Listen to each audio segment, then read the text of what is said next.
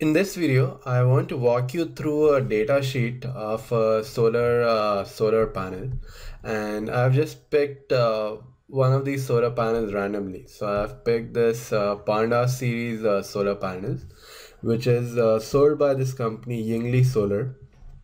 It is uh, one of the larger manufacturers of crystalline and multi-crystalline based silicon solar panels and this solar panel is is made up of these uh, single crystalline or uh, monocrystalline uh, silicon.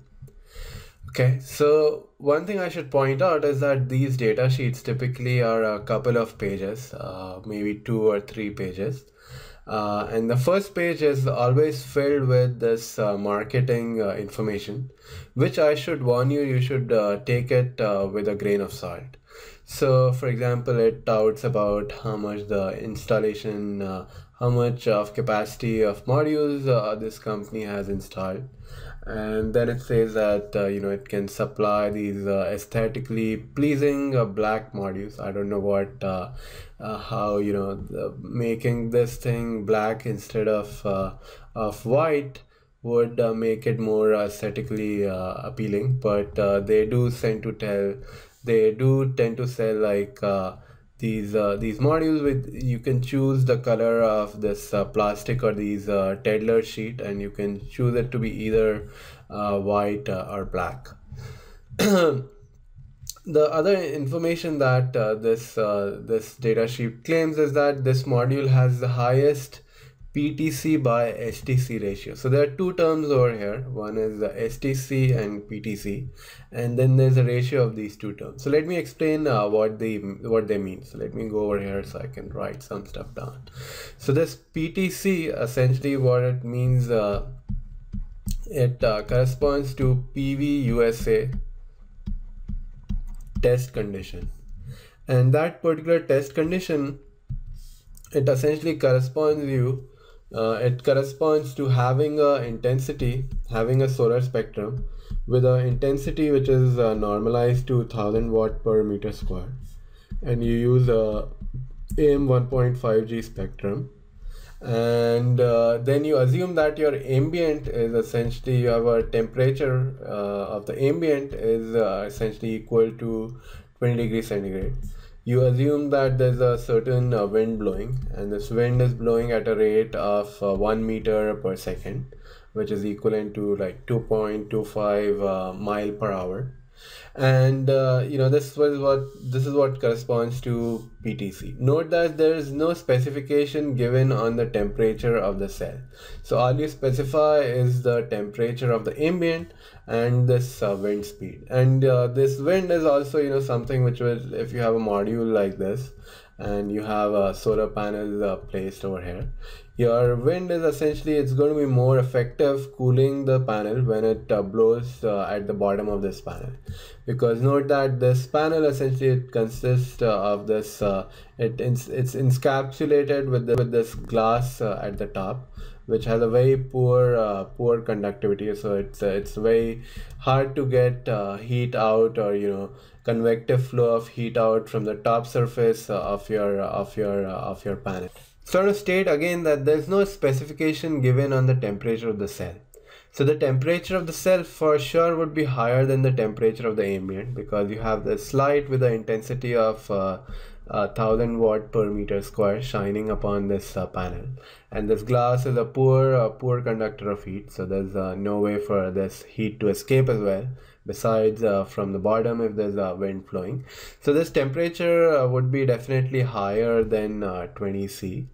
And it would depend largely on these uh, on how your module is designed how efficient your cell is and uh, so on. So this uh, PTC rating or this this power rating under these PV USA test condition it's usually measured measured by an independent body. So for example uh, for the state of California, there's this uh, California Energy Commission, and uh, they have this website where they measure uh, measure uh, the efficiency of different modules. Also, they list out, they make a list of what are the manufacturer of these modules, what is the module number, what does it, what's its description, is it suitable for BIPV? Is it suitable for uh, uh, integration into a building while the building is being constructed? That's called BIPV, and then it specifies this uh, PTC rating of these uh, of these uh, panels, and this list is updated uh, quite frequently. And the panels which are given in this list are suitable or uh, you know California will give you a subsidy if you use uh, the panels uh, from this list. So let me search for uh, Yingli over here. So I'll uh, Yingli and then the panel number which I was using was uh, this 30B uh, panel over here. So I see that it says that you know it's it's made in China. It says the panel number. Then it says where it's a monocrystalline silicon module and then it has a PTC rating of uh, 235 uh, watts. So let me write it down. So for this panel, the PTC rating uh, as as specified uh, by uh, by the California Energy Commission is is 235 uh, 235 watt. Okay. So now what is this STC? What is this STC over here? So this STC essentially it uh, corresponds to it corresponds to standard test conditions. So this STC corresponds to standard uh, test conditions, and this essentially corresponds to having a intensity of uh, light, which is uh, again uh, thousand uh, watt per meter square and uh, the AM 1.5G spectrum, which is the same as what we used uh, for PTC. But now we give a specification on the cell temperature, and we specify that uh, it's it is 25 uh, degrees centigrade. And this this STC test is very often used when these cells are uh, being manufactured in a line. So one of the steps uh, that is performed is to generate the solar spectrum using a solar simulator and these uh, measures the efficiency of these cells while holding their temperature constant or you know while holding their temperature to be 25 C. So we know that whenever we operate the cell and if we operate it under this uh, PTC condition, the temperature of the cell will rise because you have this light shining and also the cell uh, is, uh, essentially uh, it's thermally sealed by this uh, glass from the top. So this efficiency of the cell will uh, will decrease as I uh, increase the temperature. So this efficiency will decrease uh, in the PTC test condition. So that's why this uh, PTC to STC ratio is important. And it's important to find out what is this PTC to STC ratio. So this STC rating is often given in the datasheet itself. So I'm going to just uh, look into that. So it says that under standard text test conditions so the maximum power is uh, for this panel is uh, 270 watts so the PTC to STC ratio is essentially 235 divided by uh, 270 so this is uh, this is you know not that shabby. It's uh, it's you know it's uh, let me see. It's uh, it's close to 90 percent over here. Then uh, it also says that uh, these uh, these uh, if these panels they give uh, efficiency. These cells which are used in this panel they give a efficiency of 19 per 19 percent.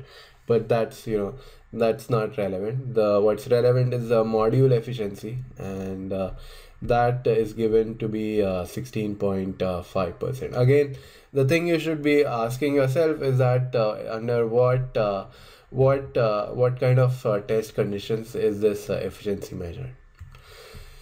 And uh, so it has you know some other uh, other marketing information so that uses anti-reflective coating uh, that uh, it specifies what kind of warranty is available on these uh, panels and then what certification and these what quality certification it has passed so for example to uh, to operate them in california a very important uh, certification is this uh, cec certification which is uh, the california energy commission so now the let's come to the second page of this data sheet and this is where most of the meat or most uh, of uh, the information which makes an electrical engineer's heart sing or even a mechanical engineer's heart sink uh, lies over here.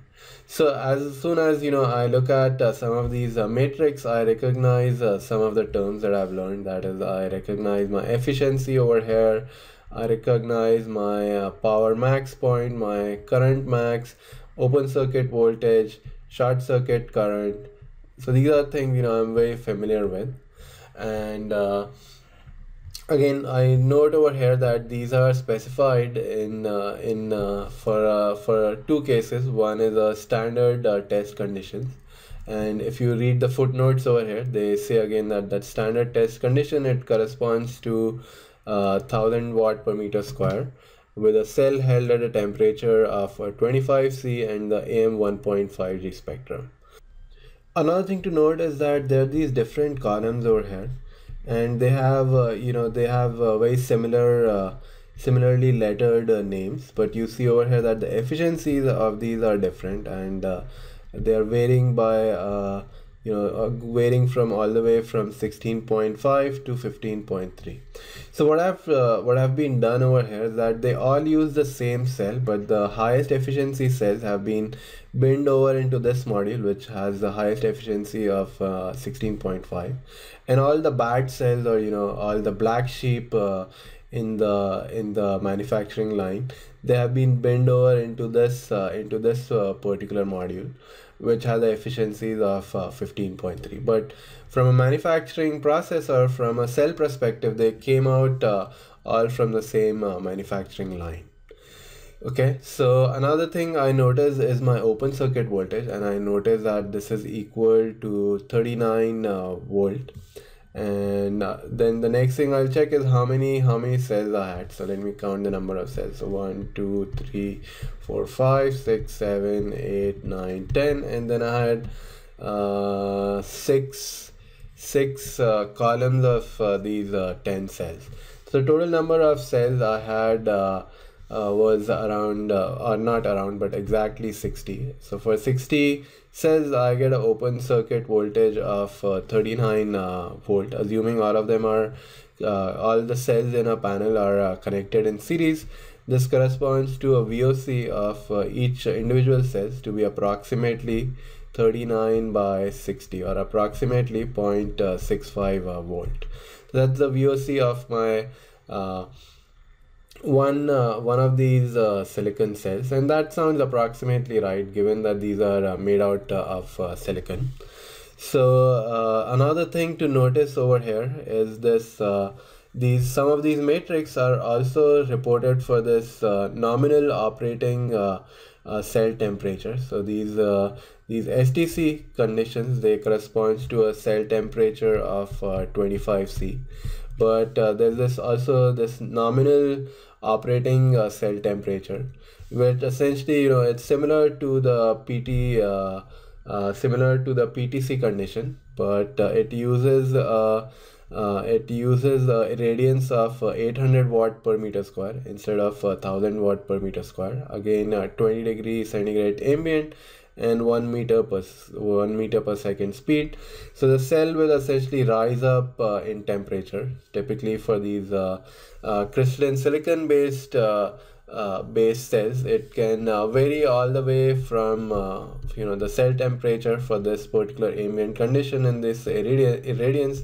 It can vary all the way from 40 degrees c to all the way up to 70 degrees c depending upon depending upon how good is your uh, how good is your module design to carry away this uh, heat. And also it depends upon what is your uh, irradiance level as well. So again at uh, some of these uh, uh, these nominal operating test conditions so they spec specify some of these matrix for these conditions as well and then another important matrix to uh, is uh, to note is specified in this uh, table over here, where it gives the temperature uh, coefficient of uh, uh, of my power, the temperature coefficient of my voltage, the temperature coefficient of my current. So I noticed that as I increase my temperature, my VOC decreases as as I increase my temperature because my VOC has a negative coefficient with temperature so it decreases by 0.31 percentage points so these things are reported by percentage points per degree centigrade so if i increase my temperature by 1 degree centigrade this uh, uh, VOC will essentially decrease by 0.31%. Similarly, if I increase my temperature, my short circuit current typically increases because my band gap of my solar cell decreases. So my short circuit current increases. So this has a positive uh, temperature coefficient.